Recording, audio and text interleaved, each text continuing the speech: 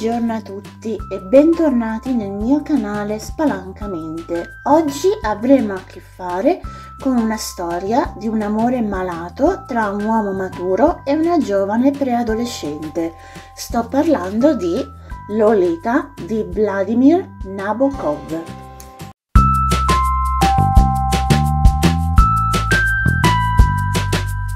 Vladimir Vladimirovich Nabokov, nato a San Pietroburgo, Russia, il 22 aprile 1899, morto a Montreux, Svizzera, il 2 luglio 1977, noto come Vladimir Nabokov.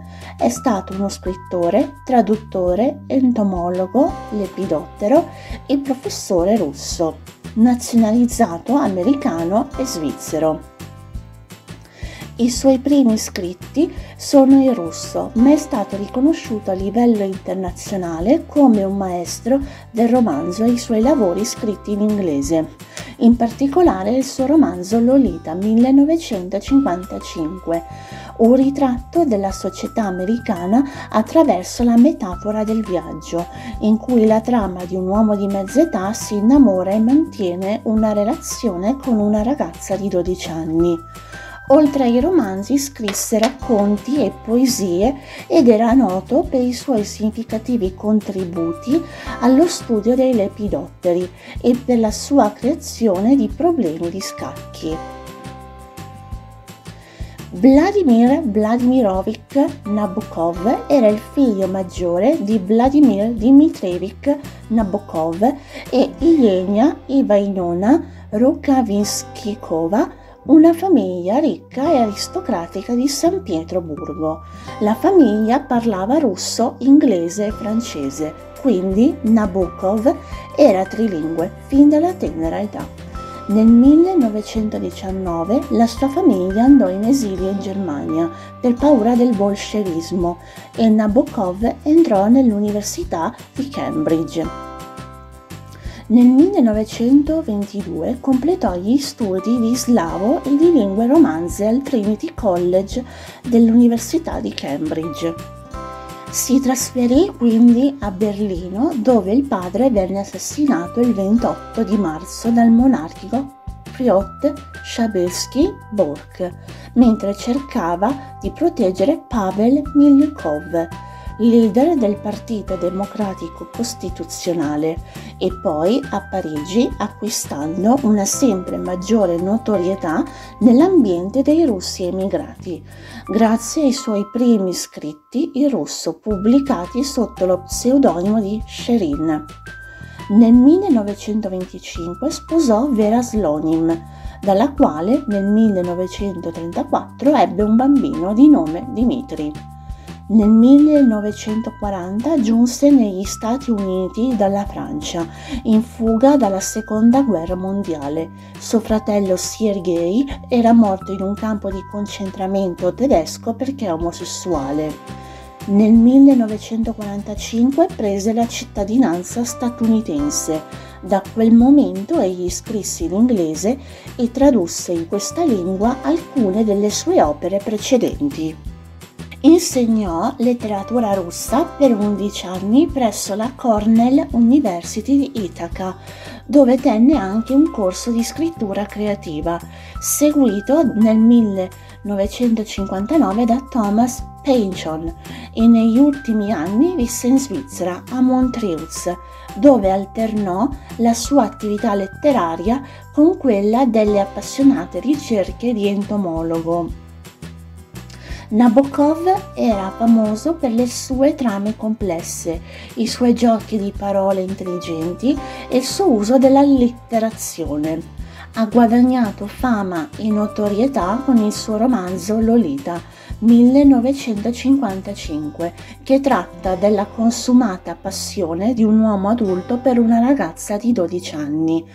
Questo e altri suoi romanzi, in particolare Pale Fire nel 1962 e soprattutto Ada or Burning 1969, gli hanno dato un posto tra i grandi romanzieri del XX secolo.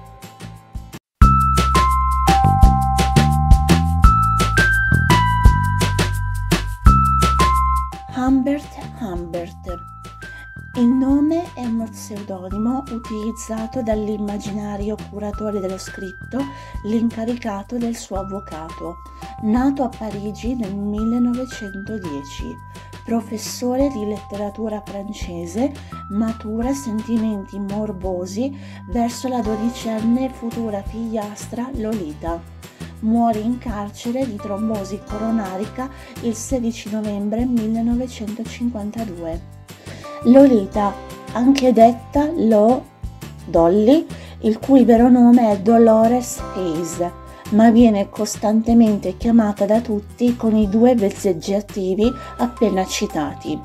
Nata il 1 gennaio 1935 vicino a Cincinnati, ragazzina molto spregiudicata e ribelle che mostra una sessualità molto marcata rispetto alla sua giovanissima età diventa l'ossessione di Humbert all'inizio del libro a 12 anni. Charlotte Hayes, la madre vedova di Lolita e la futura moglie di Humbert, si innamorerà presto di Humbert e addirittura si dimostrerà gelosa delle attenzioni che la figlia ottiene da parte dello stesso, motivo per cui decide di mandarla in colonia. Claire Culty un vecchio regista e amico di Lolita, che nella sua apparente gentilezza nei confronti della ragazzina cela intenzioni promiscue.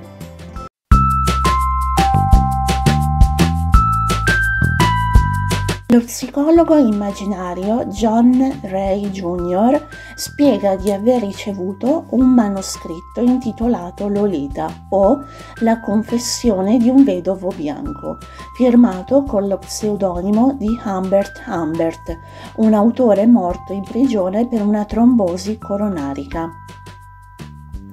Il professore Humbert Humbert, voce narrante del racconto, annoiato insegnante quarantenne di letteratura francese, dopo un matrimonio fallito e dopo essersi ripreso da un esaurimento nervoso, si trasferisce nella piccola città di Ramsdale, nella Nuova Inghilterra, per poter dedicarsi interamente alla scrittura affitta una stanza nella casa di Charlotte Hayes, una vedova.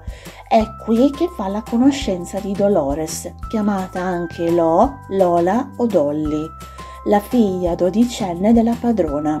Ribelle e maliziosamente spregiudicata, Lolita gli richiama subito alla mente Annabel, il suo primo amore da tredicenne. Nonostante la differenza di età, Humbert perde la testa per la ragazzina e inizia con lei un sottile rapporto di ingenua complicità che porta Dolores a salutare Humbert prima di partire per la colonia con un casto bacio sulle labbra. Mentre la figlia si trova al campo estivo, Charlotte, che intanto si è innamorata di Humbert, si dichiara Egli accetta di sposarla al solo fine di continuare a vivere vicino alla sua Lolita.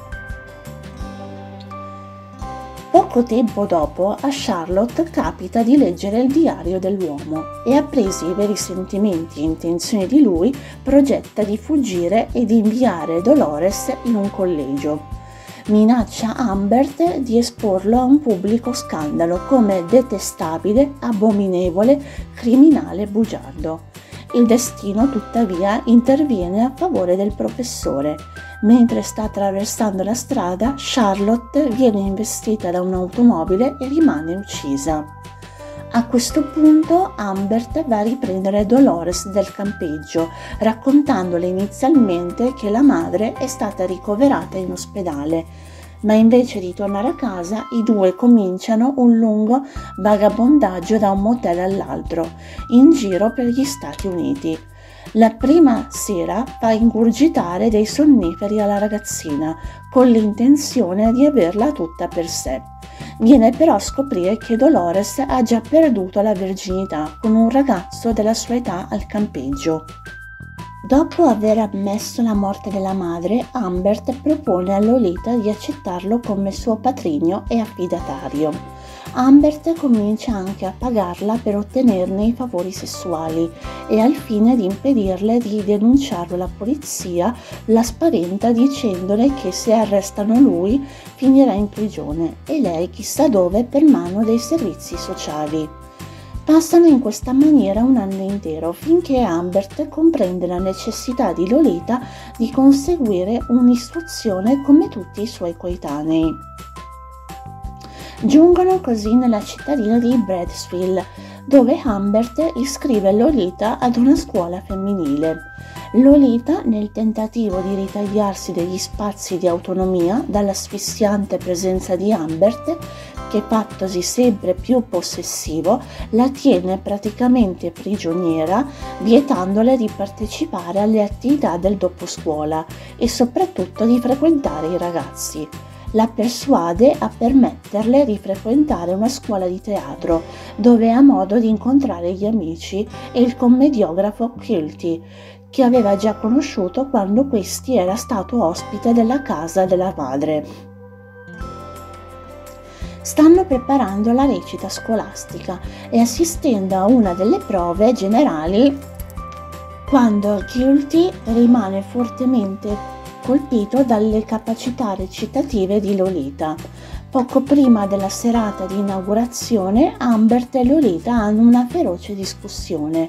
Lolita scappa via e Ambert la ritrova raggiante mentre sta uscendo da una cabina telefonica, affermando che sta per raggiungerlo a casa e che ha preso una grande decisione. Mentre comprano da bere, Lolita afferma che vuole rimettersi in viaggio. Ambert, messo in difficoltà dalle voci poco gradevoli che la sua relazione con la figliastra Lolita hanno ispirato alla comunità, decide di cogliere l'occasione al balzo e fuggire in auto per riprendere i loro vagabondaggi sulle strade statunitensi. Tuttavia, Ambert ha la sensazione di essere seguito da un uomo misterioso che egli suppone essere dapprima un investigatore e comincia a farsi via via sempre più sospettoso, temendo che Lolita lo conosca e che stia cospirando con altre persone al fine di sfuggirgli.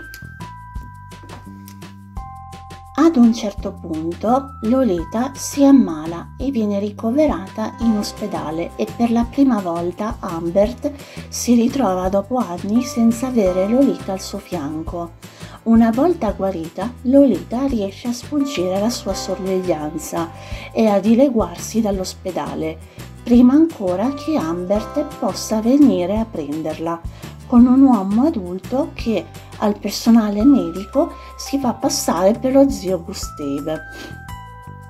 Un Ambert quasi impazzito si dà una frenetica ricerca girovagando per miliardi di hotel e scoprendo il più delle volte che Lolita e il misterioso uomo avevano soggiornato lì, ma sempre un passo prima di lui che vi giungesse. Alla fine egli finisce con l'arrendersi e dopo svariato tempo ha un rapporto con una donna di nome Rita che dura due anni. L'anno seguente Ambert riceve una lettera da un'ormai diciassettenne Lolita che gli scrive di essere sposata, in attesa di un figlio e bisognosa di denaro. Ambert va a trovarla e riesce a farsi dire il nome di chi l'aveva aiutata nella fuga dall'ospedale, niente di meno che Culti. Il regista aveva subito cercato di farle una stella di film pornografici, ma il rifiuto di lei l'aveva buttata in strada e allora Lolita ha fatto vari lavoretti prima di incontrare e sposare il marito Dick, Richard, che non conosce nulla dal suo passato e al quale ha raccontato di Ambert come se fosse il suo vero padre. Dopo averle consegnato 4.000 dollari, Ambert cerca di convincerla a venire via con sé, ricevendone però un secco rifiuto. A questo punto, nella più completa disperazione, Ambert va a cercare Quilty a casa sua e lo uccide a colpi di rivoltella. Arrestato per l'omicidio, scrive in carcere in attesa di processo il libro di memorie Lolita o le confessioni di un maschio bianco vedovo. Lolita or The Confessions of a White Widowed Male, da pubblicarsi come autodifesa postuma. Alla fine, come viene detto o fatto intuire, la moglie di Richard F. Schiller è morta di parto. Già nella fittizia prefazione, Ambert muore in carcere per trombosi coronarica e un mese dopo Lolita muore di parto il giorno di Natale.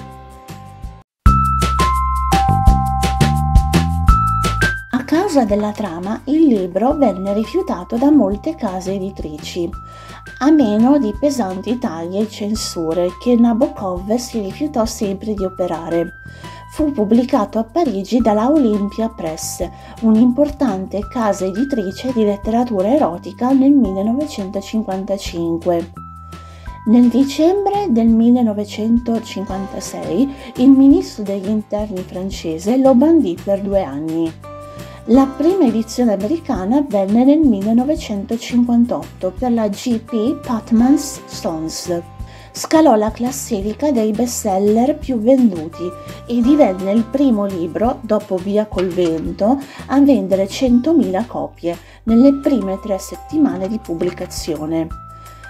In Italia fu pubblicato nel 1959 da Bondadori. Nonostante lo scandalo, le circa 400 pagine del libro non contengono né parole né descrizioni oscene. La trama è intessuta di uno stile letterariamente alto ed elegante che allude alle scabrosità senza mai descriverle esplicitamente. Adattamenti cinematografici 1962 Lolita, film di Stanley Kubrick con Sue Lyon all'epoca del film quattordicenne nella parte di Lolita, James Mason nella parte di Humbert, Shirley Winter nella parte di Charlotte Hayes, Peter Sellers nella parte di Claire Culty. 1997 Lolita, regia di Henry Line con Dominique Swain nella parte di Lolita, Jeremy Irons nella parte di Humbert, Melanie Griffith nella parte di Charlotte Hayes e Frank Langella nella parte di Claire Culty.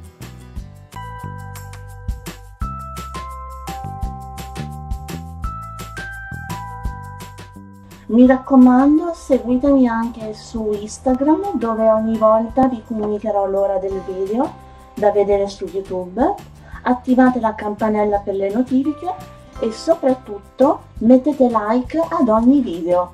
Amici, non vi resta che augurarvi buon divertimento, buon ascolto, a presto!